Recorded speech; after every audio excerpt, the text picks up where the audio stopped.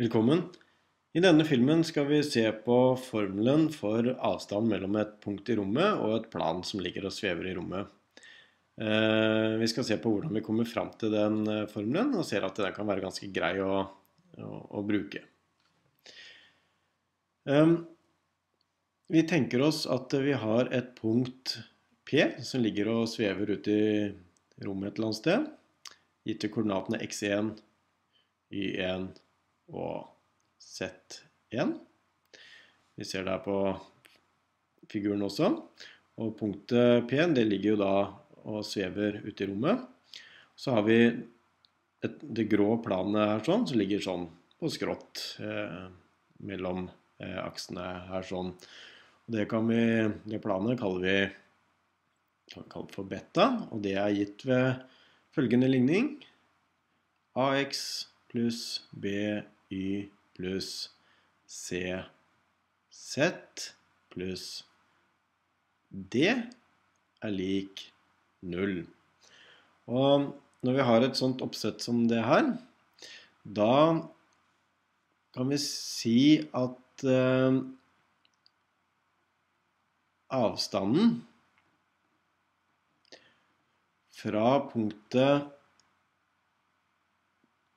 Og ned til, eh, til eh, planet, da, beta, eh, da er det gitt ved en formel.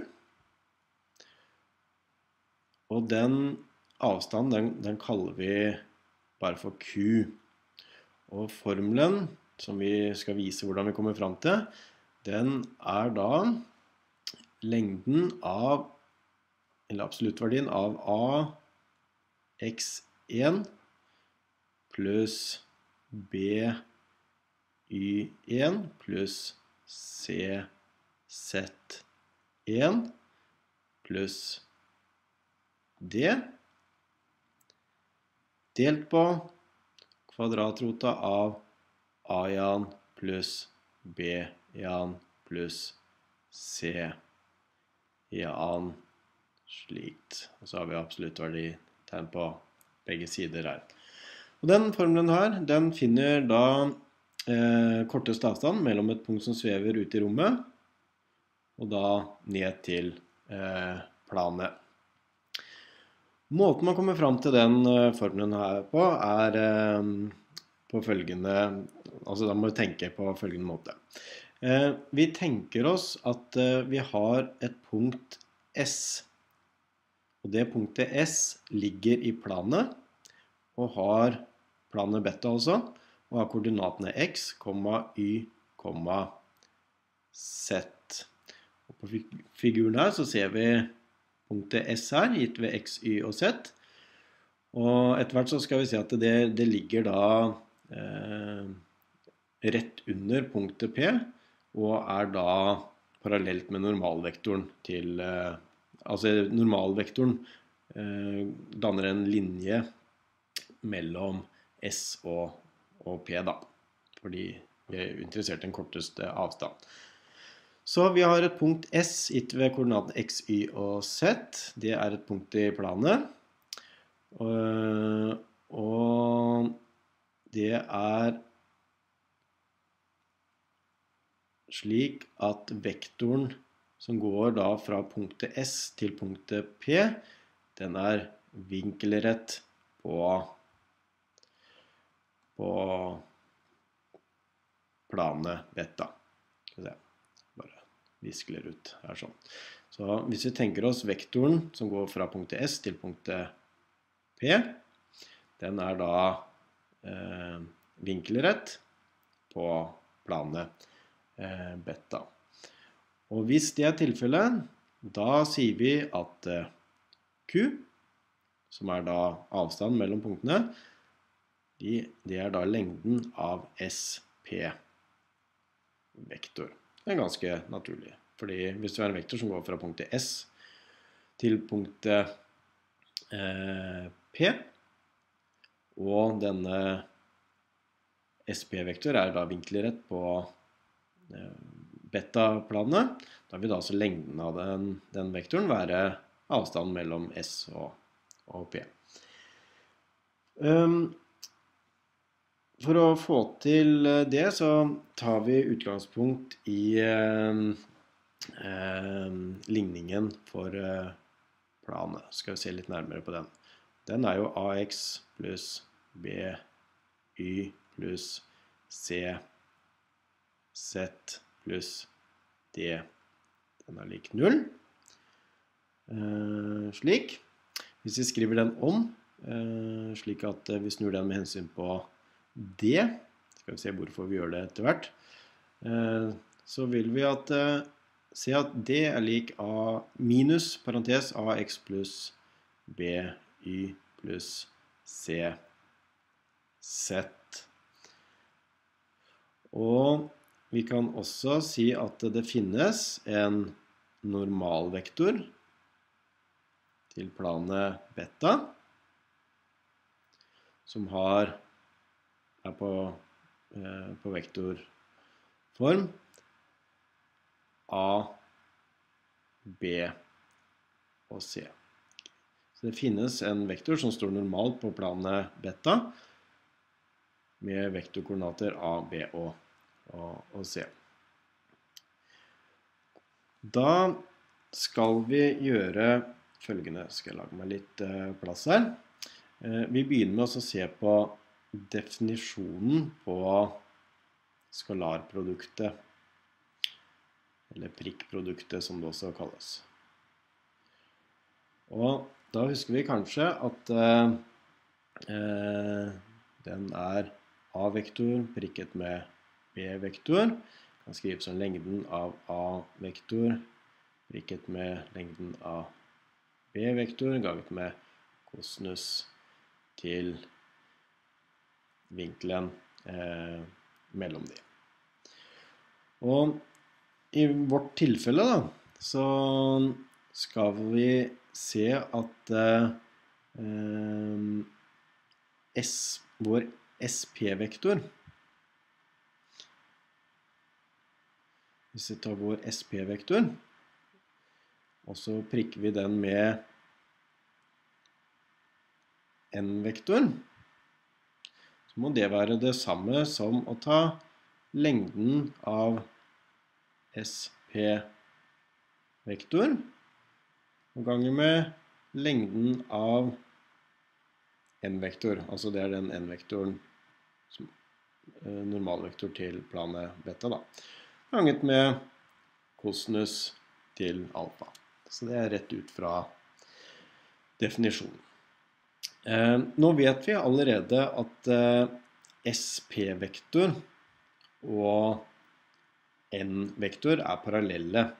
Så det betyr at eh, kosinus alfa, eller altså vinkelen, er enten 0 grader eller 180 grader mellom SP-vektor og N-vektor. Så det betyr at det kosinus alfa, den er enten 1 eller minus 1. Så kan vi ha det litt i, i, i bakhodet her. Eh, SP-vektor, eh, det er jo da vektoren som går mellom punktet S og punktet P, og der kjenner vi jo koordinatene til både punktet S og punktet P. Vi kan jo skrive de opp en gang til. Og punktet P hadde jo koordinatene x1, y1 og z1. Og punktet S hadde koordinatene x, y, z. Slik. Hvis vi da skal finne eh, SP-vektor, kan jeg skrive den her, SP-vektor, da må jo den være Eh, hvis vi går via posisjonsvektor, altså differansen mellom disse to her, så da får vi at det er x1 minus x, y1 minus y, og z1 minus z. Så da tar vi for x, y og z p sin x-koordinat minus s sin x-koordinat osv. hele veien. Og ja, da er dette SP-vektor. Og N-vektoren, den har vi allerede. Den er jo A, B og C. Um, vi kan også se, da har vi funnet ut hva SP-vektor er, og vi vet hva den er. La oss se nå på hva er lengden av SP-vektor. Ja, da må vi gå litt tilbake til hva vi definerte, og det var jo avstanden mellom punktet S som lå i planen, opp til det punktet P som lå ute i rommet. Det er det vi skal finne ut helt til slutt, og det er jo det vi bestemte oss for. Q. Så den avstanden her, den, den kaller vi bare for Q. Og videre så er jo lengden av normalvektoren Den er rota av A1 pluss B1 pluss C1 vanlig lengde av en vektor, fordi normalvektoren hadde jo vektorkoordinatene A, B og C. Og kosinus alfa vet vi da er 1 eller minus 1. Så da kan vi skrive opp definisjonen på skalarproduktet eh, en gang til, og så regne litt. Så da setter vi nå opp SP-vektoren. Den er jo da x1 minus x, y1 minus y og z1 minus z. Og det skal da prikkes med A, B og C, slik. Og dette skal da være lik lengden av SP, som bare er Q. Og lengden av normalvektoren er rota av A-jan pluss B-jan pluss C-jan, slik.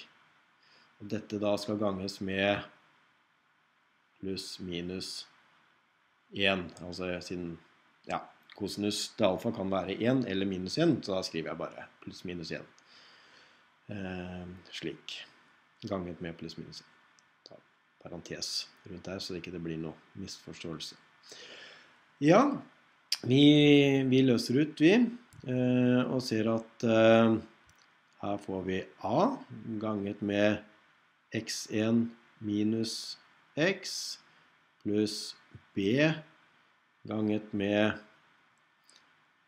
y1 minus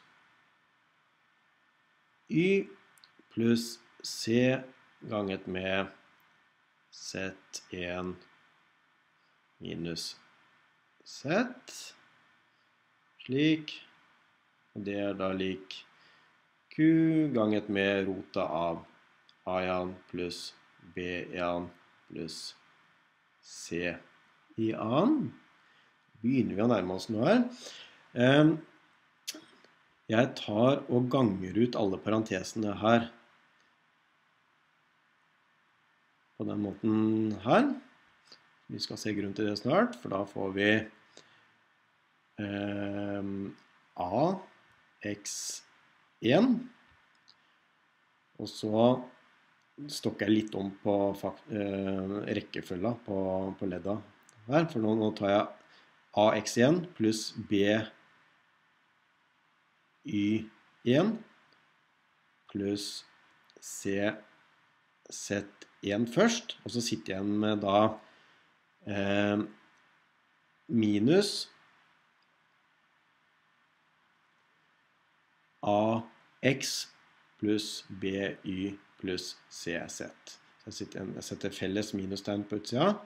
Så da har vi AX pluss BY pluss CZ. Og igjen er dette lik Q. Her har jeg glemt å gange med pluss minus 1. Det må vi huske på å ha med. Eh, rota av A1 pluss B1 pluss C1 ganget med pluss minus 1. Slik. Det er litt smått der. Pluss minus. Slik. Eh, grunnen til at jeg gjorde dette her, er fordi dette her kaller vi, døper vi bare om til D. Det ser vi her oppe, at vi, vi trakk ut det leddet av ligningen til eh, planet den måten der. Da får vi den på den formen der. Og da sitter vi igjen med noe som begynner å se ganske pent ut. Da har vi AX1 pluss BY1 pluss CZ1 pluss D. Og det er lik Q ganget med rota av A1 pluss B1 pluss C1 ganget med pluss minus 1. Og det siste vi gjør da, før vi kommer helt fram, er å snu med hensyn på Q. Og da ser vi at vi har formelen vår.